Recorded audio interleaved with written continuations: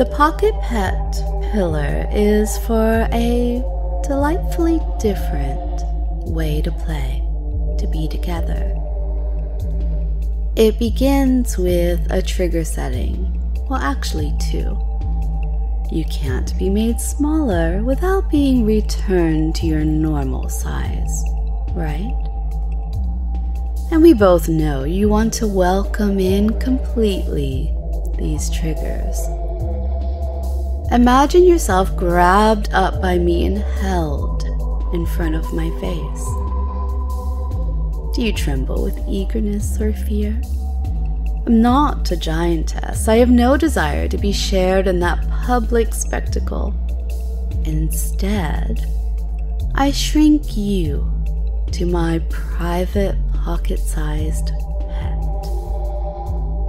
I have the power to make you the perfect size for any type of play. And Pocket Pet is just my clever name for you, even with your size varying from handheld to doll size. Is this one just for the macrophiles? Mm, perhaps.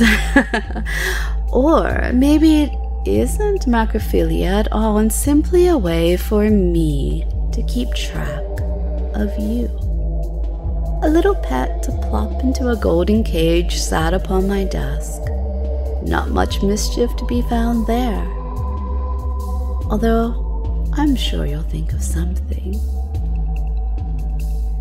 As I mentioned, the first session, it nestles two useful word runes into that vibrant mind of yours.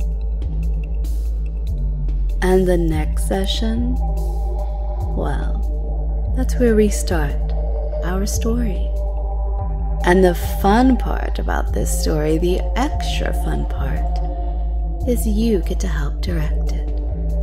So let me know through Patreon or so forth, through the messenger, where my happy little pocket pet wants to go with this daydream.